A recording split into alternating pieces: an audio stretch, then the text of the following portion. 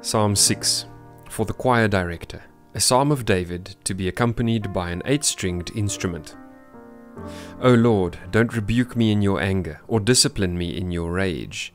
Have compassion on me, Lord, for I am weak. Heal me, Lord, for my bones are in agony. I am sick at heart.